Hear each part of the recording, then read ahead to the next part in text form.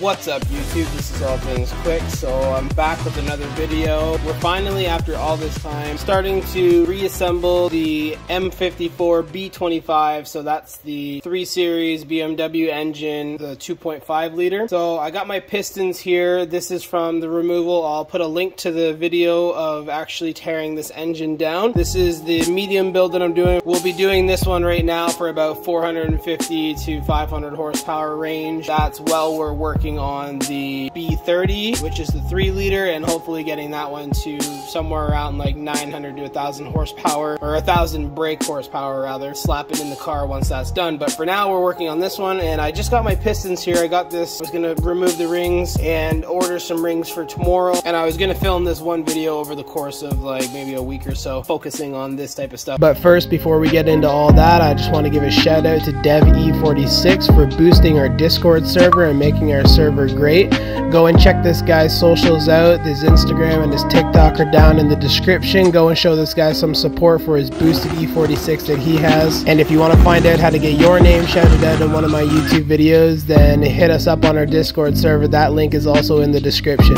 But anyways, the most bizarre thing I've ever seen. So the 3 liter has pistons and the connecting rods, they're completely flat on the B30. Actually, I'll grab one here. So this is the bottom of the connecting rods for the B30. So you can see how it's completely flat. It's a machined surface, right? But the B25, I'm not sure why, but like this is the way that these are. And, and all of them are like that. I've actually seen other engines that are like that. It's a very specific one that goes with the other half of the connecting rod. You can see here, that's a perfect fit, right? If you try a different one, because it's jagged, it, it, it will never, it will never fit properly. See that gap? It's just not right. It's not sitting properly. So like, I don't know. I messed up and I took them all apart and didn't consider that. But anyways, I'm gonna match them all up and then get them with the right ones. And I'm gonna remove the rings off of this thing and we're gonna clean this up and then order some new ones for tomorrow, hopefully, and get back with doing the rest of this video after all the cleanup. So the main idea with this is that we're doing this build with the same pistons because they're not in terrible condition, obviously because it was a engine that was completely NA, no boost, no nothing. So I'm gonna clean this stuff up, reuse these pistons because I'm not gonna need much more than what these are offering with the high compression. However, the reason I'm removing the rings and not just slapping them back in the engine is because we're gonna gap the rings to a specific size, file them down so that we can have the proper gap or the proper amount of boost that we'll be running for the setup. So I have a chart. I'll list the chart right here. It gives you a rough idea of what you should be doing for the amount of horsepower or the amount of boost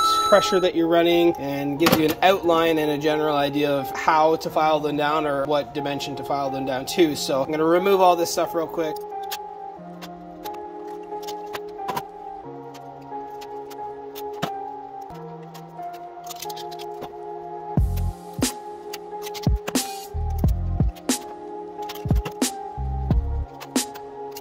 All right, so all the piston rings are out and the oil rings as well. So I'm gonna throw those out in the garbage and we're gonna match up these bottom of the bearings here. Some of them have the bearing sleeves, but I'm gonna order some new ones with those as well because I don't wanna reuse the same stuff. Because you can see here, this has some pretty significant wear on it and definitely don't wanna use those again. So I don't want any slack in that. So I'm gonna order some new ones and then go with that. So all of this stuff is garbage. So I'm actually gonna take these out because obviously I'm not gonna use them, so those are garbage as well. But the gap with the piston rings is a very important piece to boosting an engine and wanting reliability when you have things that are made out of cast. So the problem becomes that when you increase your boost level, you obviously increase your temperatures. So as things get hotter, things start to thermally expand. And what happens is that because these are made out of cast aluminum, the compression ring actually overheats and becomes so tight that it actually butts up together and then it over expands to the point that it can't contain itself in here anymore. And these are the ringlands in here. So the ringland will actually break the top portion of the piston and then you'll lose all compression in that cylinder. And that's what's happened with one of my engines. And I'll show you a good example of what that actually looks like. So basically the outside of that ringland had completely destroyed itself and just obliterated this. So there was zero compression in cylinder one. So that's why this graph or this table that tells you about the boost levels and all that stuff is very important because basically like you can only go to a certain boost level, which is like seven or eight PSI and that's boring. So I don't want to be limited to that. Since the engine's already apart, I had this intention when I was taking it apart was to file these down and actually make a reliable boosted B25 engine with cast components. So now that I got these out, these are garbage and I'm just gonna match these up and see where they, actually I forgot that these ones out.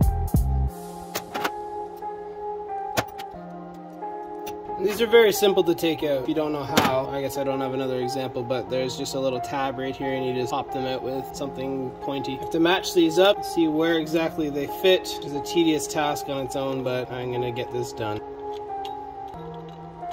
See, like, that's a significant groove in there. Like, that's why I never really understood these. If you look, like, let's say you put that on a different one, like, look at that gap, right? Here, here, just for, for an example, like this one, this one fits perfectly. You can see it's like, it's, it's sealed up nice right? Then let's put this same one on a different one. Look at that gap, right? So they're like, however that is, like it looks like they're broken off, but that's how they're machined or something, so I don't know. Okay, so I have all six pistons with their connecting rods, and basically all I need to do is clean these things and order new rings and bearings, and then I'll have this reassembled. I gotta find the bolts for these things. I'm actually thinking about ordering some ARP just to have more clamping force and stronger metal in there because I don't want any of that backing out out and for now anyways these rods look good. I was thinking about going with aftermarket forged rods but because of the horsepower range that I'm going for I'm not actually going to do that. This should be sufficient. And if it breaks it breaks. I haven't seen an example of one that has at that horsepower range. So that being said I'm just going to clean these up and then you know what as a matter of fact I changed my mind. I'm not going to clean these myself. I'm actually going to take all of these to CarQuest and I'm going to drop them off and have them clean them in their container pay a few bucks to get it done. So I might take a couple more parts and then get them to wash up some of that stuff too. There's an oil pump up there that I want cleaned up as well too because I'm actually going to use, I was thinking I'm going to use this one here for the B30 and do a tie down nut on it, but the one for the B25 I'm actually just going to go and weld the nut straight to it so it doesn't back out. Obviously it has to be cleaned up to do that, so I think I'm going to drop that off as well. So I just decided right now since I'm going to clean those parts at CarQuest, I said to myself, what the heck, I might as well take this engine block out, strip it down completely, get them to clean that up as well. I don't even know where the head went, to be honest with you. I'll find the head and i am gonna get them to clean the head too. I want a clean slate to go into this with, so going to disassemble that engine there completely. It's just the uh, oil filter housing, the alternator, and some engine mounts. Get those off, strip down, and then get that block in the back of my truck and get those shipped out on Monday probably to get that all cleaned up.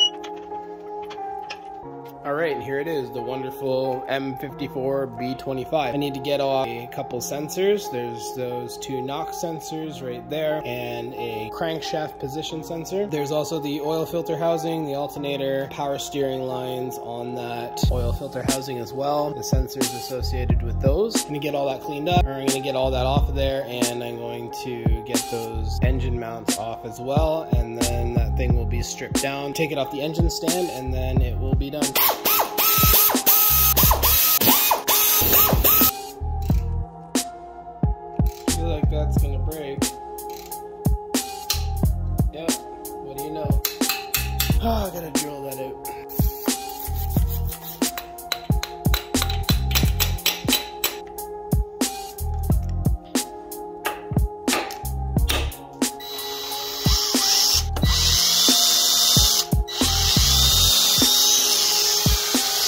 So here's something fun. I completely and entirely messed that up. So I didn't feel that slip out and it slipped right out of where the hole was. So yeah, I went straight down into the block and didn't drill out that bolt that I just broke. So that sucks anyways. I'm gonna have to fill that, like TIG weld that, fill it up, grind it down, and then actually drill through it properly. That sucks. I just completely didn't notice that it had slipped out. But anyways, whatever. That's that's that's small stuff. That doesn't really matter. Yeah, I'm gonna get the rest of this stuff off. That's uh, that sucks. But whatever.